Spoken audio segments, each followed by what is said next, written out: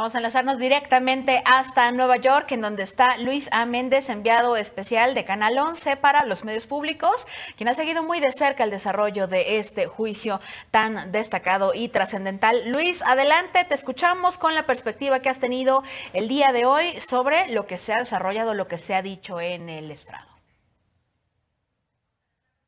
¿Qué tal, Claudia? Buenas noches a ti al auditorio de 11 Noticias. Pues la sorpresa de este día, comentarles que la audiencia eh, de Genaro García Luna por el juicio que se le sigue acá en Estados Unidos es que subirá, existe mucha posibilidad de que suba al estrado a ser interrogado por parte de sus abogados, pero también por los fiscales estadounidenses. Esto luego de que se adelantó el proceso de este juicio. Eh, comentarte, Claudia, y a ti y al auditorio que hubieran por ahí algunas notas de que se afirmaba que el próximo martes concluiría este juicio. Sin embargo, esta información no es correcta, eh, ya que lo que va a pasar es que el juicio de alguna manera se acortará. ¿Por qué motivo?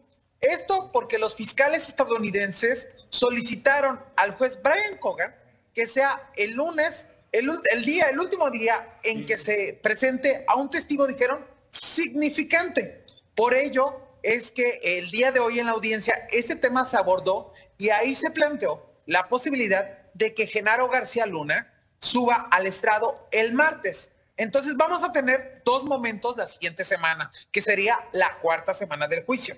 El primer momento es el lunes, cuando los fiscales presenten a, su, a este fiscal clave, a perdón, a este testigo significante, como lo llaman ellos, que incluso están asegurando que se realiza un operativo, una logística especial para que esta persona que desconocemos quién sea, acuda a la corte de Brooklyn. Entre las personas que se están mencionando, estamos hablando de Edgar Valdés, alias La Barbie, también se está hablando del rey Zambada y también se está hablando de Iván Reyes, alias La Reina. Todos estos narcotraficantes que han sido juzgados en Estados Unidos y que pudieran acudir a testificar en este juicio. Posteriormente, el martes sabremos si Genaro García Luna sube al estrado.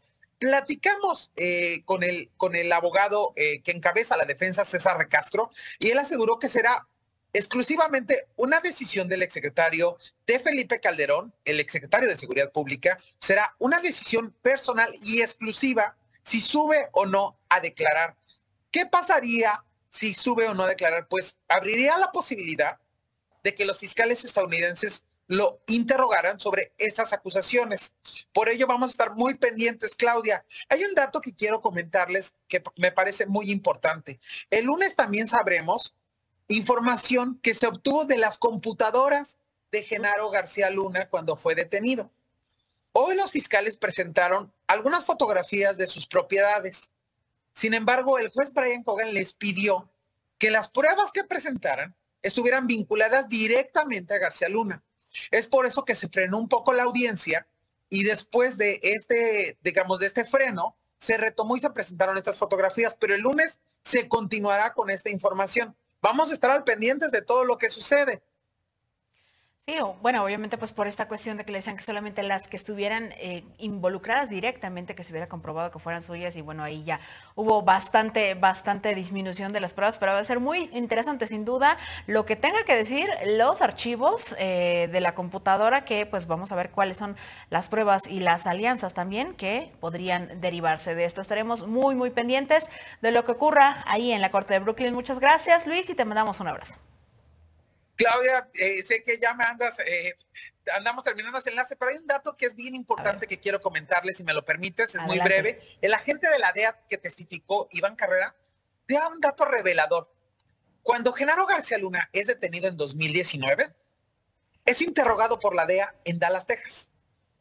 Pero resulta que la DEA, esta agencia de lucha contra el narcotráfico, la agencia de Estados Unidos, no le funcionó el equipo para grabar a Genaro García Luna y ese interrogatorio no fue grabado.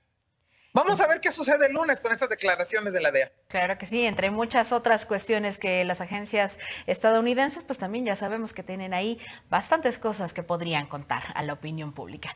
Gracias Luis, te vemos pronto. Un saludo a ustedes y al público Igualmente, gracias.